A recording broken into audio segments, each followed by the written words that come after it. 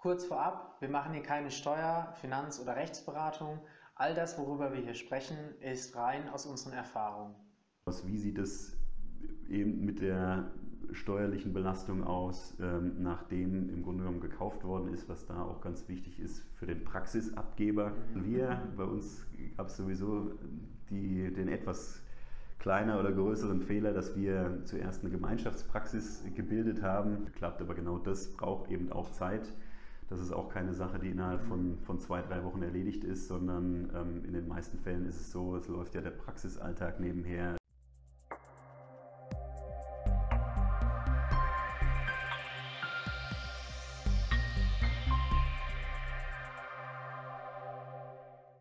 Hallo und herzlich willkommen im dritten Teil. Im ersten Teil haben wir darüber gesprochen, wer der Herr Dr. Äh, Alexander Müller ist, wie der Weg in die Zahnmedizin war und äh, im zweiten Teil sind wir dann so auf die äh, Übernahme äh, innerfamiliär eingegangen, wo wir jetzt hier im dritten Teil nochmal anschließen möchten. Und zwar ähm, rein steuerlich muss man einiges beachten. Möchten Sie einige Tipps geben? Ähm, durchaus. Es gibt sicher jede Menge Tipps, äh, die werde ich wahrscheinlich auch mit meinem, also ich muss ja ganz ehrlich sagen, ich habe ja auch nur Know-how als Zahnarzt und das große Problem an der, an der ganzen Geschichte ist, glaube ich, viele Zahnärzte machen sich ähm, selbstständig.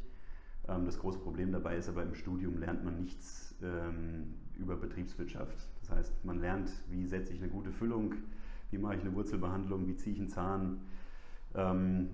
Ähm, das kann man alles durchführen, aber wenn es dann in die Richtung geht, eine Praxis zu übernehmen oder auch eine Praxis zu führen, ähm, muss man sich im Grunde genommen durch eigene Fortbildung, durch Bücher oder ähm, ja, dann auch durch Beratung ähm, das nötige Wissen aneignen, was dann auch erforderlich ist, damit man überhaupt sich erstmal auch über Wasser halten kann. Weil ja. das ist ja nicht nichtsdestotrotz äh, eine Investitionssumme, die man da reinsteckt.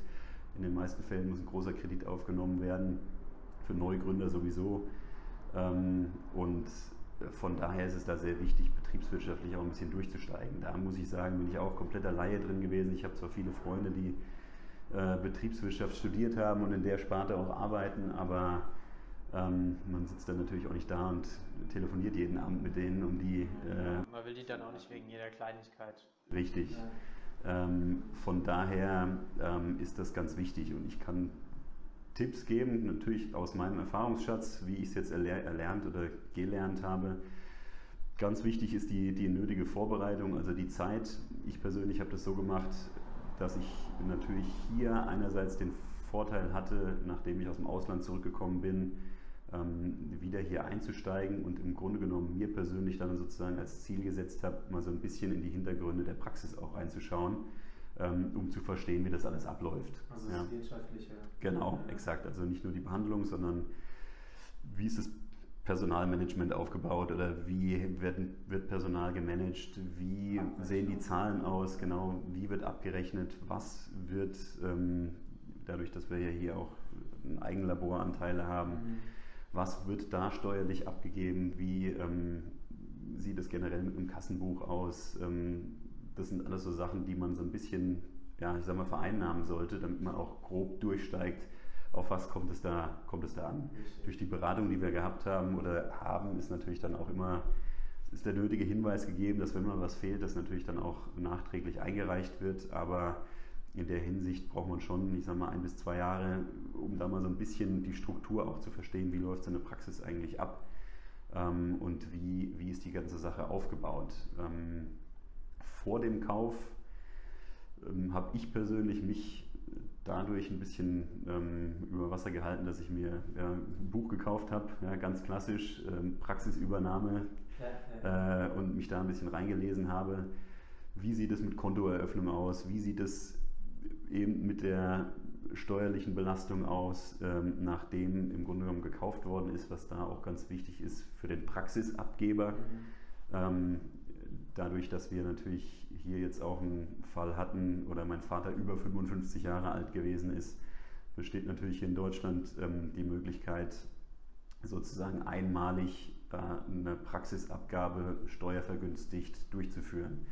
Und von daher muss das schon ganz gut ausgeklügelt sein, dass das eben aufgrund dieser Einmaligkeit ähm, auch so weit abläuft, dass das für jeden oder für jede Partei dann sozusagen auch vorteilhaft ähm, sozusagen gestaltet werden kann. Und da ist die nötige Beratung natürlich sowohl juristisch als auch steuerberatungstechnisch ganz, ganz wichtig, weil ich glaube, die wenigsten Zahnärzte eben da auch ähm, das nötige Know-how haben, um das entsprechend über die Bühne zu bringen. Das ist leider nicht eben so diese Wieso-Steuererklärung, äh, die man dann noch ausfüllen kann, sondern da gehört dann wesentlich mehr dazu.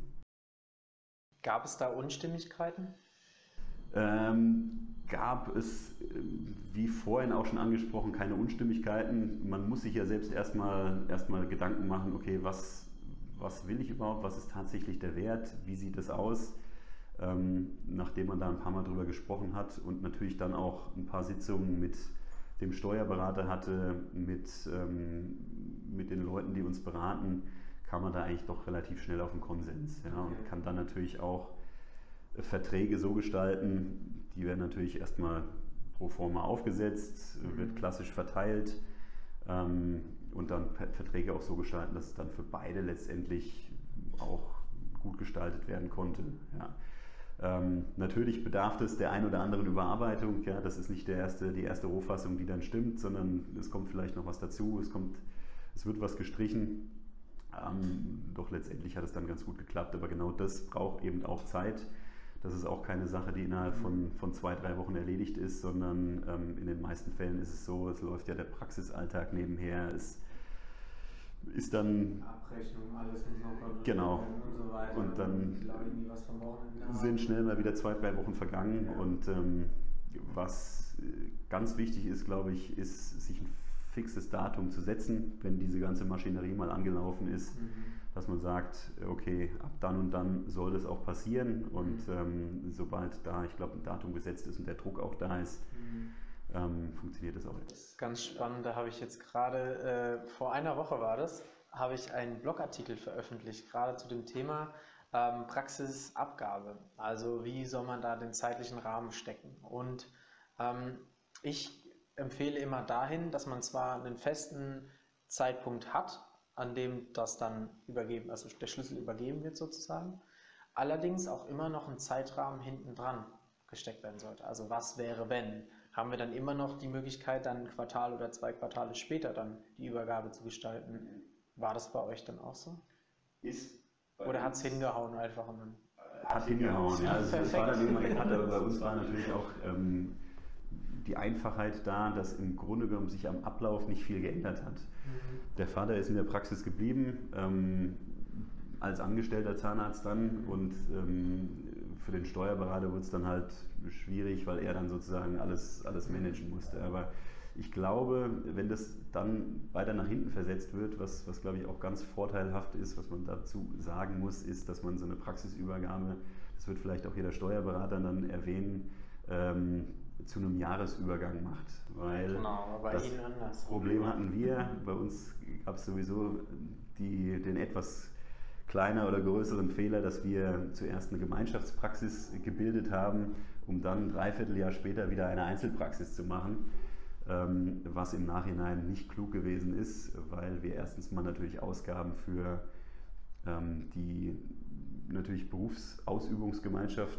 die anzumelden, um dort äh, im Grunde genommen zwei niedergelassene Zahnärzte anzumelden, ähm, Ausgaben hatten und dann natürlich diese Ausgaben nochmal kamen, als im Grunde genommen auf die Einzelpraxis umgestellt worden ist. Und äh, das war nicht so sinnvoll äh, und das ist auch in einem Rahmen passiert, was von März auf April gelaufen ist und unser Steuerberater hat sich bestimmt ganz groß gefreut, weil, oder beziehungsweise sind, die sind sich immer noch am Freuen, dass ähm, da jetzt im Moment sehr viel rumgerechnet wird, weil man im Grunde genommen für ein Jahr zwei Abrechnungen machen muss. Mögen die gar nicht. Nein. Nein, mögen die gar nicht. Äh, auch unterjährlich irgendwie die, die Zahlen anfragen, da muss es schnell gehen. Also richtig, das ist ein riesiges Fass, ähm, ja. auch wenn es jetzt nur drei Monate, ähm, beziehungsweise Einzelpraxis, Gemeinschaftspraxis und dann ja, hinten rauf ja, wieder Einzelpraxis. Und das äh, ja, war ein Fass ohne Boden. Und ähm, das ist sicher sinnvoll, sich da vorher einen klaren Termin zu setzen. Ich denke, wenn dann irgendwo verschoben wird, sollte man sich vielleicht einen Jahrespuffer geben, ja, wenn irgendwas in die Hose geht, dass man zumindest als Praxisabgeber dann sagt, gut, ein Jahr könnte ich dann auch noch verlängern, bis es dann weitergeht. Das dann ähm, doch noch zum, zum Jahresende.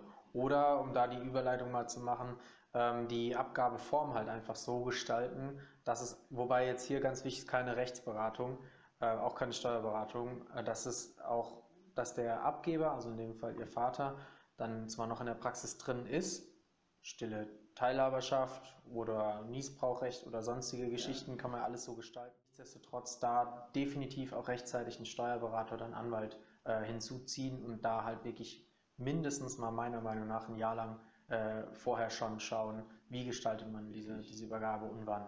Ich glaube, in der, in der Richtung auch gefährlich, ähm, wenn dieser Anteil dann noch drin ist oder so wie Sie gesagt haben, dass dann noch ja, im Grunde genommen ähm, eine stille Teilhaberschaft da ist, muss man immer aufpassen, dass das nicht äh, irgendwann vom, ja, im Grunde genommen vom Finanzamt als mhm. Schein, Schein Selbstständigkeit, Selbstständigkeit ja, ja. da ist ne, und dann genau. eventuell da in Probleme kommt.